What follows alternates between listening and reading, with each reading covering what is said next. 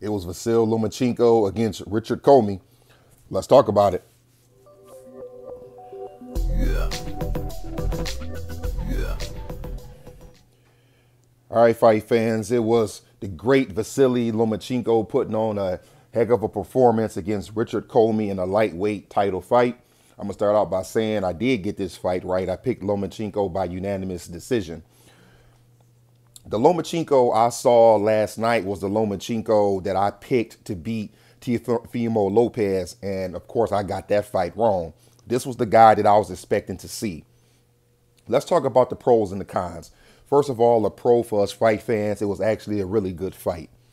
Let's start with Richard Commey first. Richard Commey came out using his height. You saw how much bigger he was than Lomachenko in height and weight. I thought that he did a good job the first two rounds trying to rough him up. It seems that he was going to take trying to take a book, if you will, out of Orlando Salido's book and trying to stay in close and rough up Vasyl and maybe try to land that that beautiful straight hard right hand that that he has. The cons would be for Richard is that he stood right in front of Vasily. He did not give enough upper body movement. His head was up too high. He did not give a, a, enough lower body movement. By lower body movement, I mean his feet.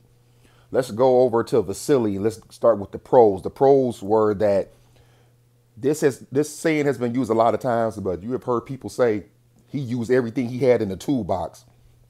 Vasily Lomachenko used everything in the toolbox last night. He was using his jab. He was going downstairs. I'm talking right hooks to the body and straight left hands to the body. He was going upstairs, jabbing straight left hand upstairs. He was throwing a looping left hand. He was throwing right hooks. He was throwing quick left uppercuts. He really just was in rhythm and had everything going last night. As for the cons for Vasily, nothing. I thought that he was on point all through the fight last night. Now let's talk about the fight. The first two rounds, I thought that Richard Commey actually did a pretty good job. He was working his game plan. He was trying to set up Lomachenko for that straight right hand, the one that gave him 27 knockouts in 30 fights. But then by the third round, the fight uh, began to change. So let me go back to the second round. Actually, by the second round, I was a little bit concerned with Vasily because I didn't really see him giving enough movement. And it seemed that he was, you know, to me, seemed like he was kind of wanting to stand in front of Richard a little bit. But then the third round, it came together. And it kind of reminds me of what he said at the end of the fight when he said that he tries to take two rounds to figure a fighter out. By the third round, Vasily had it all going. He had the foot movement going. He had Richard figured out. He figured out what angle he wanted to go in at, and he started mixing up his punches. Vasily looked a whole lot like Roy Jones, prime Roy Jones last night. What I mean is this the quick foot movement, the quick upper body movement, the counter punching. And Vasily's hands looked so fast last night that just like prime Roy Jones, there was times when he hit Richard and I didn't even know where he hit him at, like in the seventh round.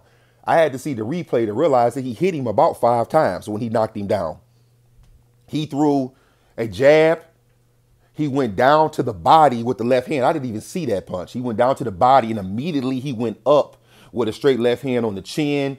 He got he got close to Richard. Richard's chin went up and he just threw a, a beautiful short left hand that put Richard down. And props to Richard for not only getting up but finishing out the fight because I agree with Lomachenko. They probably could have considered stopping the fight. And I'm saying that because when Richard got up at one point, he almost fell because he was still off balance. His equilibrium was off. You know, his his right leg, you could tell he was trying to put it down, but it tucked under his knee and he almost just went down on his own.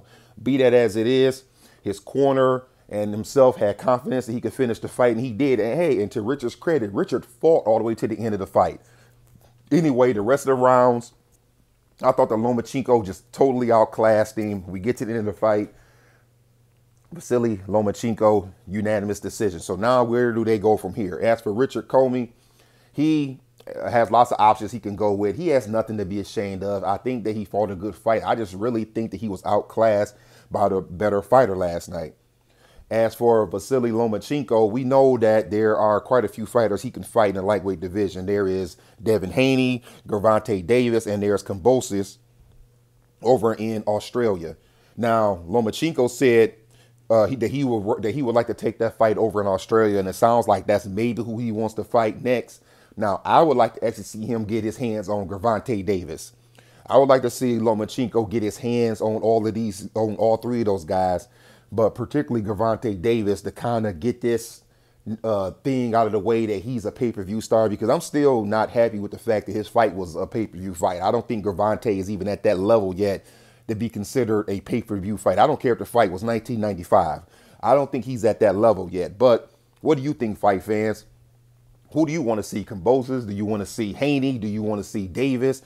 Or one day, do you want to maybe see the Teofimo Lopez rematch, which I don't personally think it happened because I think Teofimo is going to be going up in weight sooner than later. But what do you think?